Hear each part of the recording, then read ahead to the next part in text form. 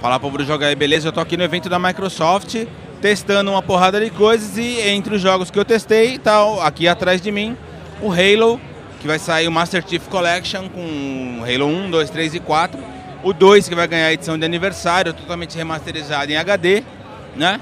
Se você jogou a série, ótimo. Se você não jogou, eis a chance de conhecer todos os jogos, que é muito legal. Entre as novidades, a que mais me chamou a atenção é a possibilidade de você fazer playlists dentro do jogo. Então, por exemplo, se você quiser jogar todas as fases com tanque, você consegue. Você monta essa playlist e o jogo sequencia para você todas as fases que você escolheu. Isso é muito legal.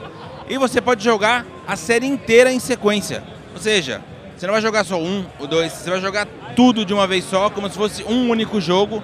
Então, para conhecer a história, é sensacional. Para acompanhar quem nunca jogou, é mais sensacional ainda. E cara, multiplayer mantido fielmente, considerando que são todos os mapas multiplayers dos quatro jogos. Então, assim, tem mapa pra cacete. O jogo tá incrível, não mudaram nada. Então, assim, era bom antes, continua sendo bom agora. Lembre-se, vai sair no fim do ano. Se você gosta, prato cheio. Se você nunca jogou, eis a chance. Beleza? Vou continuar jogando por aqui, cara. Valeu!